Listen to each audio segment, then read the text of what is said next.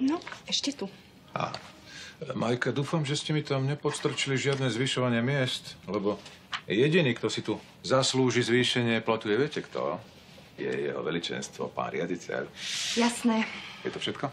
Ďakujem. A pán. Herr direktor? Okamžite sadnúť. Bez debaty, áno? Koľkokrát som vás žiadal o to, aby ste mi tu už nerobili žiadne problémy? 38. A vy máte nejakú poruchu osobnosti? Že vám to musím opakovať aj 40 krát? 30. Sklapnite. Čo má znamenať to dievča na iske? Je to normálna pacientka. Včera sme ju priviezli, pretože potrebovala akutnú operáciu. A vy si ju našli úplnou náhodou, keď ste išli s Rajským do lesoparku na hryby. Prepáčte, ale čo to mení na tom, že potrebovala akútnu lekárskú pomoc? Napríklad to, že slečna nemá zaplatené odvody. Od vody? A vy si hovoríte lekár?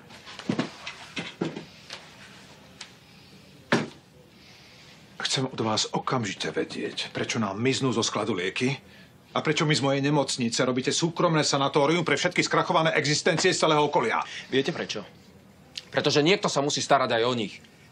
Už roky chodím pomáhať do ich komunity. Všetci na nich serú.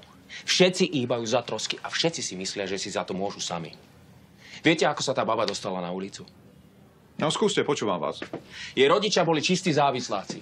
Všetko prepili a prehrali na automatoch a potom sa zabili ožratí na aute a ona skončila sama na ulici v 15. Takže ešte raz, pán riaditeľ. Myslíte si, že si za to môže sama? Myslel som si, že ste iní ako myšia, ktorý si nevidí ďalej. Že to si čo dovolujete? Čo ste to povedali? Počúvate vy zasran.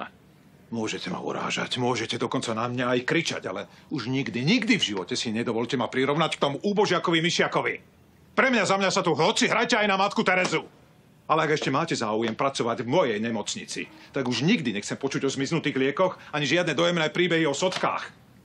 Novinári a verejnosť nebudú mať až také pochopenie pre tieto vaše kidy ako ja. Vypadnite.